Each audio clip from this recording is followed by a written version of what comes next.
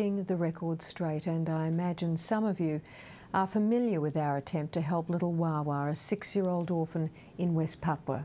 Now, the story began about a month ago when we were approached by Paul Raffaele, an expert on Melanesian tribes, who told us about Wawa's plight and asked for our assistance.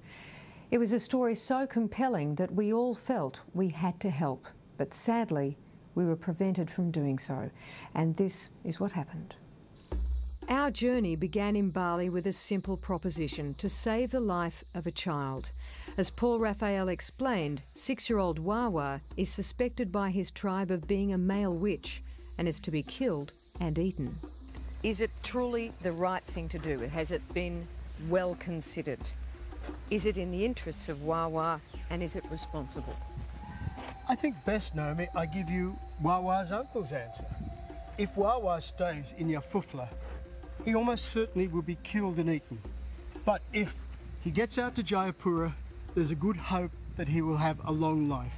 When journalist and author Paul Raffaele was in the jungles of West Papua last April, Wawa's uncle begged him to take the child to nearby Jayapura, where Wawa would be cared for, educated, and most importantly, where he'd be safe. When his family, his uncle, comes to me and said, This boy is under threat of being killed and eaten eventually, please take him away from here to Jayapura. I felt I had to do it. And saving Wawa has now become a matter of urgency. Six weeks ago, another of his uncles was killed in the very village little Wawa had been moved to for his safety. Of course, removing a child from his home, even for his own safety and with his family's blessing, is not something we took lightly.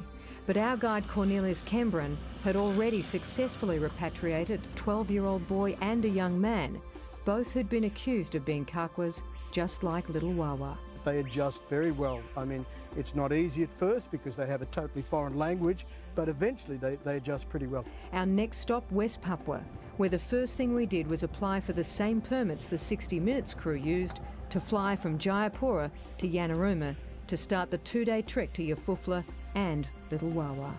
We later found out from the operations commander of the police that we were under surveillance from the moment we arrived, with police already in position at the airport and our hotel before we got off the plane. The next day, as we travelled to meet the police to discuss the permits, we were under surveillance the entire journey. And our guide Cornelius was becoming increasingly concerned about Wawa. The family also is very, uh, in a situation of very fear because uh, his older brother just killed like uh, one month ago. Many times I saw many people that killed and I brought Paul to see the bones and every time we hope that someone can help them. Finally came the news we'd been dreading. Our permits had been declined, but even more disturbing were the associated press reports that we'd been arrested when clearly we hadn't. The next day, police helped us book flights to leave the country, but the saddest part of all was being forced to leave Wawa behind. So if we are sent out of the country today, mm-hmm. will you still be able to use the money that we can raise to save Wawa? I will. I'll do.